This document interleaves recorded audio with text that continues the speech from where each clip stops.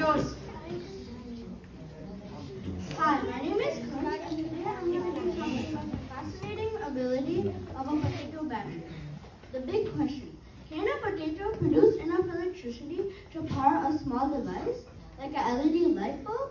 I think that the potato battery will work because the potato juice contains water-soluble chemicals that cause a chemical reaction with both of the co- with both of the electrodes, which are copper and zinc. So from that chemical reaction, we might get some electricity. The materials I are copper sheets, zinc sheets, LED light, four large potatoes, alligator clips, and connectors. First, I put the zinc sheet on one side of the potato.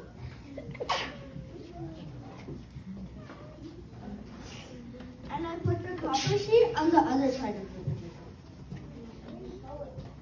Then I repeated that for all the potatoes. Second, I connected one side of the connector to the copper sheet and the other side of the connector to a zinc sheet on a different side of the potato. I did that for all of them. Third, third, now we have two sides that aren't connected. So I connected those to the those with the alligator clips to the LED light.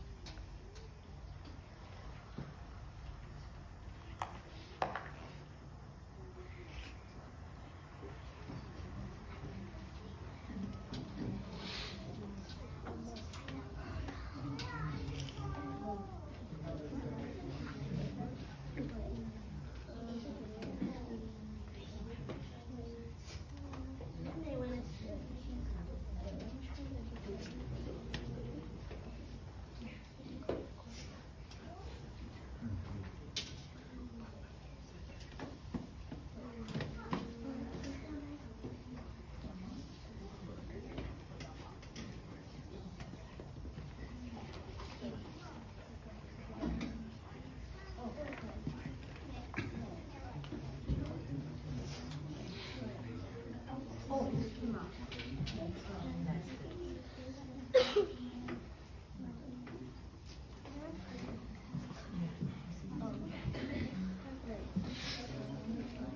Oh, yeah, I can see it. Um, Can I show you this?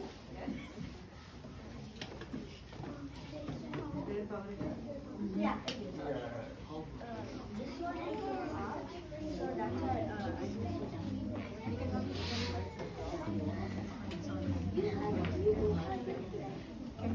Turn off the light the turn off. Oh.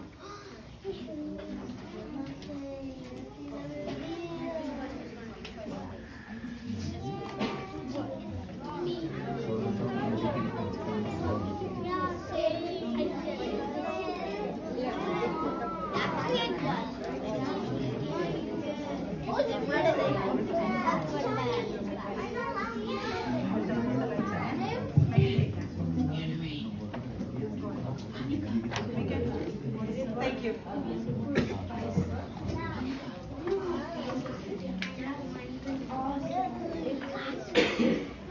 As you can see, after connecting both of the electrodes to the potatoes and the LED light, the LED light lit up and proves my hypothesis correct. In conclusion, my potato battery demonstrated the fascinating capability of a potato to generate electricity. Thank you for listening to my presentation.